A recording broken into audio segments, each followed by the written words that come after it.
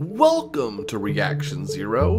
My name is Tyrell, and we'll be showing all equipment locations in both survival and story mode in Green Hell.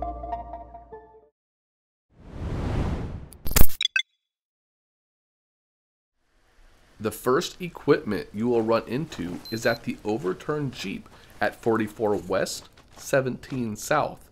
In survival mode, this is where you will find the grappling hook. However, in story mode at the same location will be a jerry can. Follow the road north up the hill until you reach a cave with an elevator.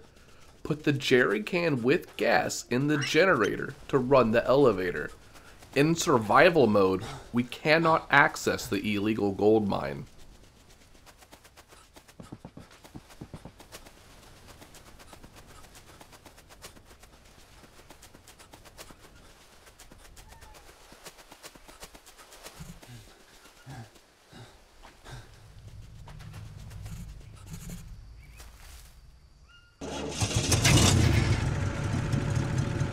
Now that the generator is running, we can take the elevator down.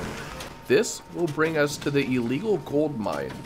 On a bench, we can find the grappling hook for story mode. All other equipment will be in the same location for both modes.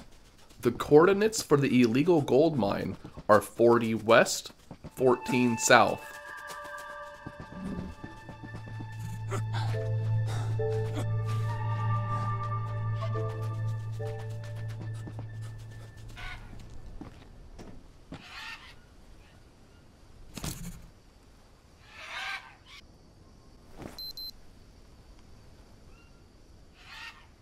The climbing equipment can be located at the airport at 29 West, 22 South.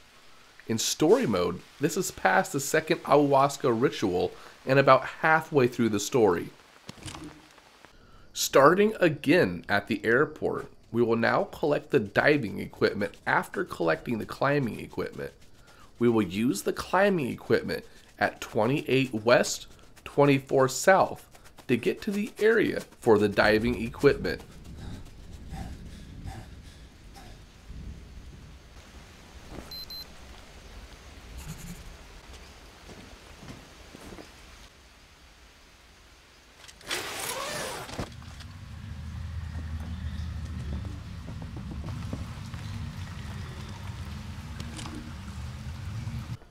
The final equipment will be found in the swamp where the research facility is located.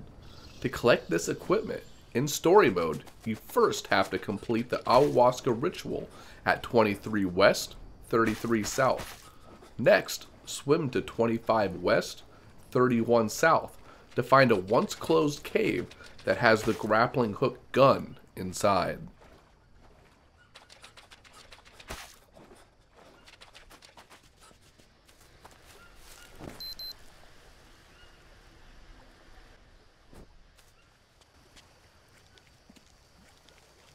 Thank